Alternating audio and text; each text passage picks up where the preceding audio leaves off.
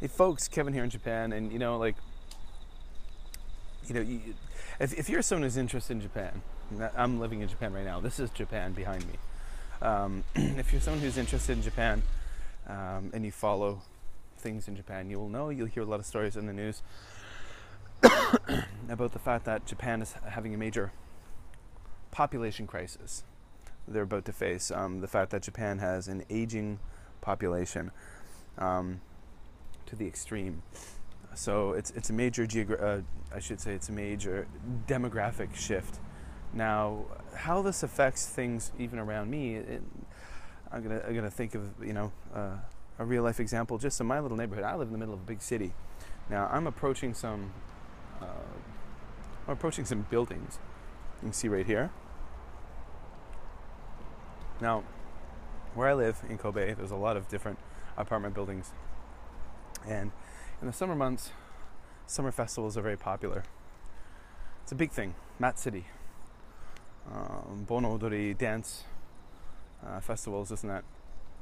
And there are quite a few in this little island where I live, and it's really wonderful, and I love it. And it was a lot of fun before I had children, but now that I have children who are old enough to appreciate and really enjoy these festivals, it's even more amazing because as a parent, and if you're a parent, you'll know this, and if you're not a parent, it's something you might experience later on if you are, and blah blah blah blah. If you're not, blah blah blah blah.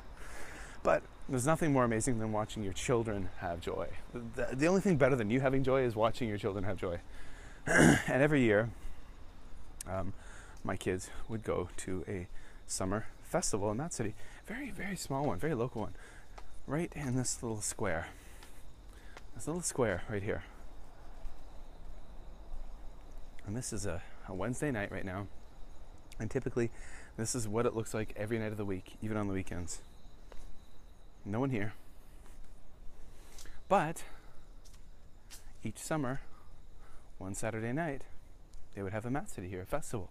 And it was so much fun. And in this festival, they would have, um, uh, right around this area, they would have people uh, cooking yakiniku and yakitori, so like, ba- like so like barbecued meat and chicken, and there would be like drinks for sale here. And in the middle, there would be a big dance stage where people would dance around, and they would have a big raffle draw. Over on the side, they would have all kinds of different festival games for kids, and more festival games for kids over here. And you'd have all kinds of people sitting here drinking and, and being with their friends and family, and the kids all playing around and loud music. Really amazing. And um, they didn't have one last year. They didn't have it again this year. And I took my son two years ago, and it was so wonderful. But my daughter just turned two. she never experienced the festival here, and it's a real shame because it was so much fun. My son dressing up as a little jinbei, coming here playing games, getting like big inflatable swords and toys that are very common at Japanese matsuris, and having fun and eating food, eating kakigori, the shaved ice, and uh, mom and dad having some drinks. A lot of fun.